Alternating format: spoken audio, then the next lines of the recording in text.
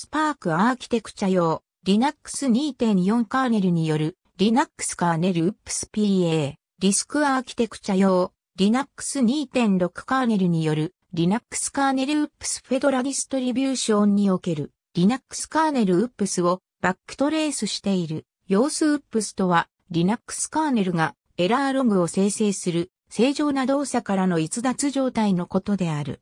その状態に陥った際に発せられるメッセージを指す場合もある。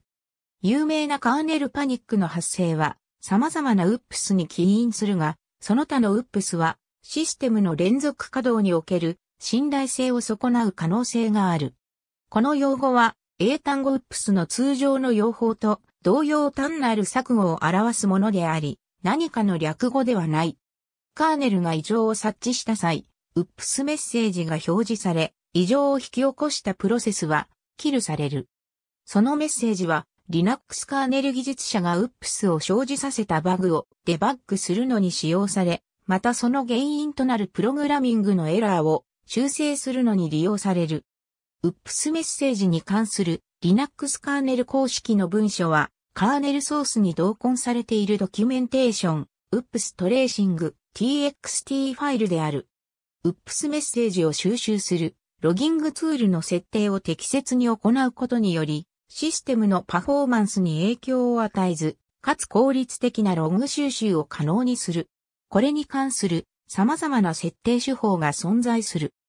クラーグドデーモンは、カーネルログリングバッファから、ウップスの情報を抽出する機能に関与しているとして、しばしば引き合いに出されるが、いくつかのシステム、例えば近年のデビアンやウブンツディストリビューションでは、クラーグドデーモンはシスログドデーモンにとって変わられている。これこ、クラーグドプロセスがなければ、ログファイルに、ウップスの情報の取りこぼしがあるとは、必ずしも言えない。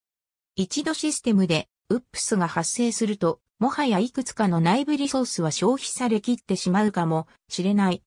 たとえシステムが正常に動作しているように見えても、動作中のタスクがキルされることにより意図しない悪影響が出る可能性がある。